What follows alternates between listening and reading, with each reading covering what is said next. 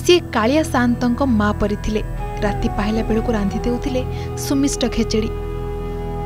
ଅଇଁଠା ଦାନ୍ତ କାଠିର ପଛପଟେ ଘାଣ୍ଟି ଦେଉଥିଲେ ପୁଞ୍ଜାଏ ଅନ୍ନକୁ। ଯାହାକୁ ଶ୍ରଦ୍ଧାରେ ଭୁଞ୍ଜୁଥିଲେ ଜଗତ ଠାକୁର।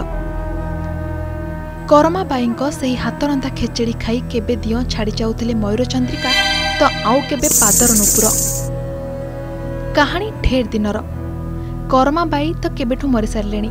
କିନ୍ତୁ ଶ୍ରୀକ୍ଷେତ୍ରରେ ବଞ୍ଚିଛି ତାଙ୍କ ସ୍ମୃତି ସନ୍ତକ କାଳିଆର କୁଡ଼ୁଆ ଯାହା ନାଁ ହେଉଛି ବାଇହାଣ୍ଡି। ଆସନ୍ତୁ ସେହି ଭକ୍ତ କରମାବାଇଙ୍କ କାହାଣୀ ଜାଣିବା। ମହାପ୍ରଭୁଙ୍କର ଅନ୍ୟ ଏକ ଭକ୍ତ ହେଉଛନ୍ତି କରମାବାଇ ମୀରାବାଇଙ୍କ ପରି ସେ ମଧ୍ୟ ଜଣେ କୃଷ୍ଣପ୍ରେମୀ ଥିଲେ।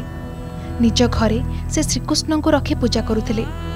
ଯେତେବେଳେ ଘରେ କେହି ରହୁନଥିଲେ ସେତେବେଳେ ସେ ଖେଚେଡ଼ି ରାନ୍ଧି ପ୍ରଭୁଙ୍କୁ ଭୋଗ ଲଗାଉଥିଲେ। ଆଉ ଯେପର୍ଯ୍ୟନ୍ତ ପ୍ରଭୁ ଖାଉନଥିଲେ ସେ ପର୍ଯ୍ୟନ୍ତ ସେ ନିଜେ ମଧ୍ୟ ଉପାସ ରହୁଥିଲେ। ପ୍ରଭୁ ବାଳିକାଟିର ଭକ୍ତିରେ ପ୍ରସନ୍ନ ହୋଇ ତାକୁ ଦର୍ଶନ ଦେଇଥିଲେ।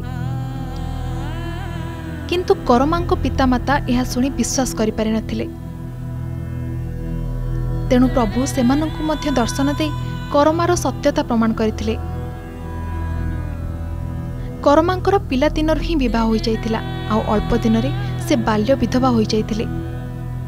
ତାଙ୍କ ଶାଶୁଘର ଲୋକ ତାଙ୍କ ଉପରେ ବହୁତ ଅତ୍ୟାଚାର କରୁଥିଲେ। ଅତ୍ୟାଚାର ସହି ନପାରି ଦିନେ ସେ ଘର ଛାଡ଼ି ଶ୍ରୀକ୍ଷେତ୍ର ଚାଲି ଆସିଲେ ଆଉ ସେଠାରେ ଏକ ମଠରେ ଆଶ୍ରୟ ନେଲେ।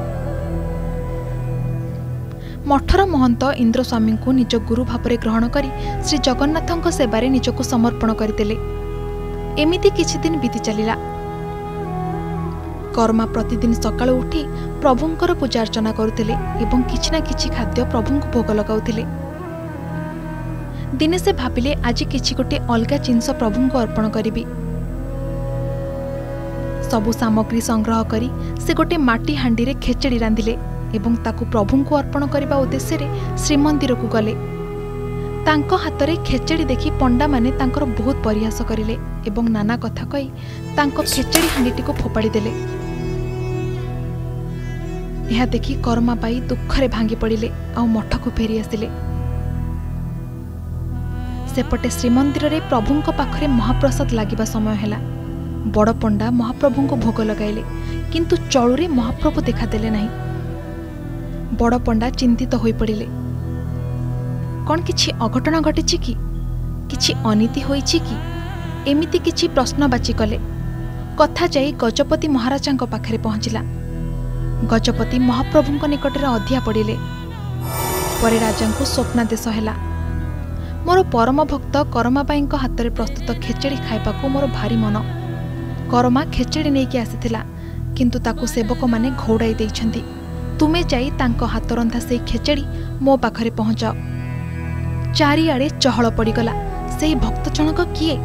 କିଏ ସେ କରମାବାଇ ରାଜା ଖୋଜି ଖୋଜି ଯାଇ କରମାବାଇଙ୍କ ନିକଟରେ ପହଞ୍ଚିଲେ ଏବଂ ତାଙ୍କୁ ଯୋଡ଼ା ହସ୍ତରେ କ୍ଷମା ପ୍ରାର୍ଥନା କରି ତାଙ୍କ ହାତରନ୍ଧା ଖେଚେଡ଼ି ଆଣି ମହାପ୍ରଭୁଙ୍କୁ ସମର୍ପଣ କରିଲେ।